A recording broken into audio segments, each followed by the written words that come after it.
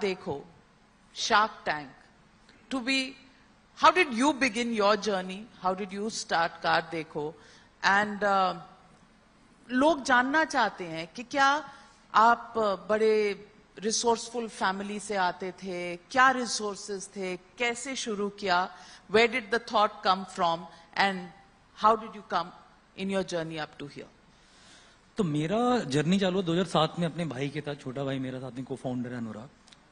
I think जो एक चीज़ मेरे को लगती है, जो एजुकेशन मिली आईआईटी गया, पढ़ाई करी तो सपने थोड़े बड़े हो गए थे। तो सबसे बड़ी जो चीज़ मेरे को लगी, लग रही जो चेंज आ रहा है इंडिया में, वो ये कि लोग अब एटलीस्ट एम बिग करते हैं एम्बिशन ज़्यादा है।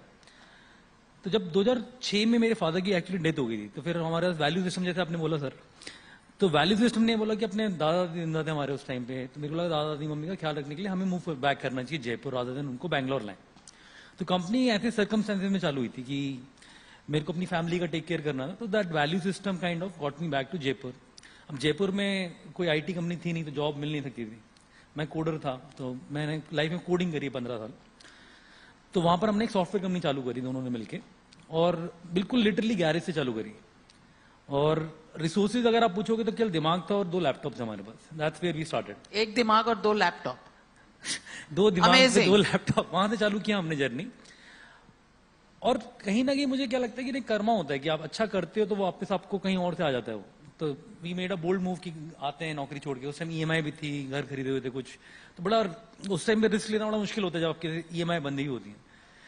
तो आपने उस टाइम जब रिस्क लिया तो रिवॉर्ड अपने आप लेटर ऑन जर्नी में आता गया और हमने सात साल तक बिना फंडिंग के चलाई प्रॉफिटेबली कंपनी तो एक डीएनए बना कि किस तरीके से आप कम रिसोर्सेज में अपनी कंपनी चला सकते हो।